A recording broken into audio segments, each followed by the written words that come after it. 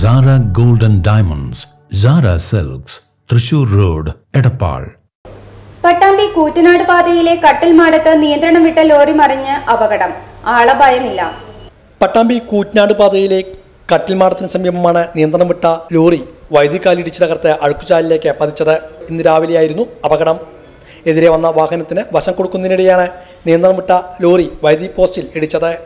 മൈസൂരിൽ നിന്നും പച്ചക്കറിയുമായി പാലഭാഗത്തേക്ക് പോവുകയായിരുന്നു ലോറി. അപകടത്തെ തുടർന്ന് ഏറെ നേരം ഗതാഗതവും തടസ്സപ്പെട്ടു. കെ സി ബി അധികൃതർ എത്തി പുതിയ പോസ്റ്റ് സ്ഥാപിച്ചാണ് ഈ മേഖലയിലെ വൈദ്യുതി ബന്ധം പുനഃസ്ഥാപിച്ചത്. രണ്ടു ദിവസം മുമ്പ് ഇതേ സ്ഥലത്ത് കാർ നിയന്ത്രണം വിട്ട് മറിഞ്ഞുള്ള അപകടവും ഉണ്ടായിരുന്നു.